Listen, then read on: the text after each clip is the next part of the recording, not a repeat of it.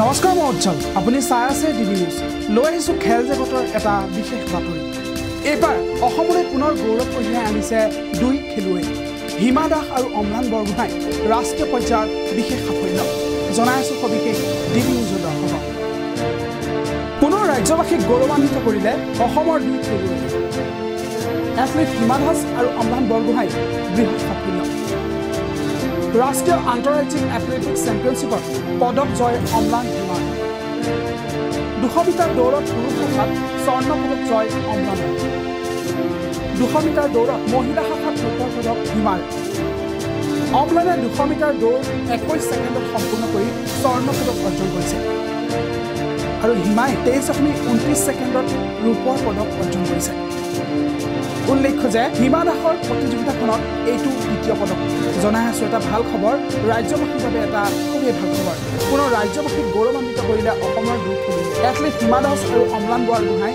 বৃহৎ সাফল্য। ৰাষ্ট্ৰীয় আন্তঃৰাজ্যিক এথলেটিক্স চেম্পিয়নশ্বিপত পদক জয় অম্লান হিমাৰ দুশ মিটাৰ দৌৰত পুৰুষ শাখাত স্বৰ্ণ পদক জয় অম্লানৰ আনহাতে দুশ মিটাৰ দৌৰত মহিলা শাখাত ৰূপৰ পদক জয় হিমা দাসৰ। অম্লানে দুশ মিটাৰ দৌৰ একৈছ ছেকেণ্ডত সম্পূৰ্ণ কৰি স্বৰ্ণ পদক অৰ্জন কৰিছে। আৰু হিমাই তেইছ দশমিক ঊনত্ৰিছ ছেকেণ্ডেৰে ৰূপৰ পদক অৰ্জন কৰিছে। উল্লেখ্য যে হিমা দাসৰ প্ৰতিযোগিতাখনত এইটো তৃতীয় পদক। পুনৰ ৰাজ্যবাসীক গৌৰৱান্বিত কৰিলে অসমৰ দুই খেলুৱৈ এথলীট হিমা দাস আৰু অম্লান বৰগোহাঁই বৃহৎ সাফল্য। ৰাষ্ট্ৰীয় আন্তঃৰাজ্যিক এথলেটিক্স চেম্পিয়নশ্বিপত পদক জয় অম্লান হিমাৰ দুশ মিটাৰ দৌৰত পুৰুষ শাখাত স্বৰ্ণ পদক জয় অম্লানৰ দুশ মিটাৰ দৌৰত মহিলা শাখাত ৰূপৰ পদক হিমাৰ অম্লানে দুশ মিটাৰ দৌৰ একৈছ ছেকেণ্ডত সম্পূৰ্ণ কৰি স্বৰ্ণ পদক অৰ্জন কৰিছে। আৰু হিমাই তেইছ দশমিক ঊনত্ৰিছ ছেকেণ্ডত ৰূপৰ পদক অৰ্জন কৰিছে।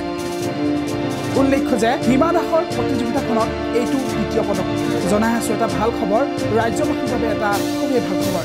পুনৰ ৰাজ্যবাসীক গৌৰৱান্বিত কৰিলে অসমৰ খেলুৱৈ। এথলীট হিমা দাস আৰু অম্লান বৰগোহাঁই বৃহৎ সাফল্য। ৰাষ্ট্ৰীয় আন্তঃৰাজ্যিক এথলেটিক্স চেম্পিয়নশ্বিপত পদক জয় অম্লান হিমাৰ দুশ মিটাৰ দৌৰত পুৰুষ শাখাত স্বৰ্ণ পদক জয় অম্লানৰ। আনহাতে দুশ মিটাৰ দৌৰত মহিলা শাখাত ৰূপৰ পদক জয় অম্লানে দুশ মিটাৰ দৌৰ একৈছ ছেকেণ্ডত সম্পূৰ্ণ কৰি স্বৰ্ণ পদক অৰ্জন কৰিছে। আৰু হিমাই তেইছ দশমিক ঊনত্ৰিছ ছেকেণ্ডেৰে ৰূপৰ পদক অৰ্জন কৰিছে। উল্লেখ্য যে হিমা দাসৰ প্ৰতিযোগিতাখনত এইটো তৃতীয় পদক।